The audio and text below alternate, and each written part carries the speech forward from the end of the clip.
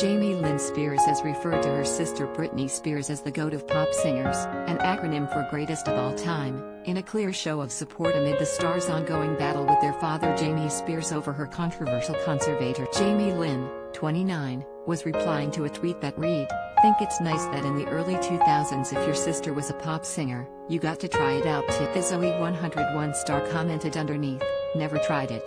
There was no competing. It comes after a manager for the star denied to TMZ that she appeared in a virtual rally in support of Britney's attempts to remove her father Jamie Spears from control of her conservatorship was attended by over 1,000. Yesterday, a Los Angeles judge denied Father Jamie's objections to establishing Bessemer Trust Company as a co-conservator over his daughter's estate. Attendees at the online event gleefully noted that Jamie Lynn had joined the proceedings. However, her manager has revealed that she was a victim of catfishing, with someone posing as the star. Some of the other celebrity guests included the attorney Lisa MacCarley, who has worked extensively on conservatorship cases and in September wrote a letter to California Attorney General Xavier Becerra urging him to audit Britney's conservatorship case. Also in attendance was the actress and producer Angelique Fawcette. The Zoom rally featured multiple updates on the court hearing plus a more playful song guessing game. The organizers of the rally urged participants to write to California Governor Gavin Newsom to ask for some kind of relief, as well as to set up a White House petition to end Britney's concert. The toxic singer won a partial victory in court on Thursday after Los Angeles Superior Court Judge Brenda Penny denied Jamie Spears' petition to remain the sole conservator for his daughter's estate. In November,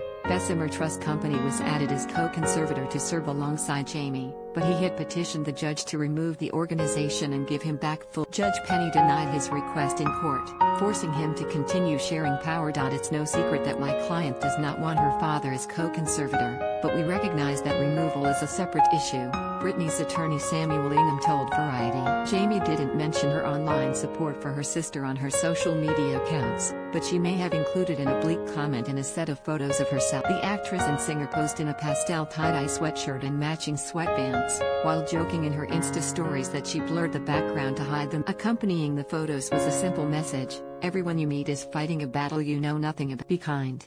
Always. Her Instagram story seemed to underscore that she may have been referring to Britney's plight by reposting the same message, but with an added note Dear media, try not to repeat the mistakes of your past. Look where that got us. Do better. Meanwhile, Britney also found support on Friday from the rapper Pitbull, who spoke to Hollywood Raw about his experience with Britney gave me an amazing opportunity to be able to go on tour. I'm very good friends with the manager Larry Rudolph, Pitbull said of their connect. You know, I'm all about freedom, I'm all about independence. As far as what's going on with Britney, that's been going on for many many years. Hopefully, they can break the cycle.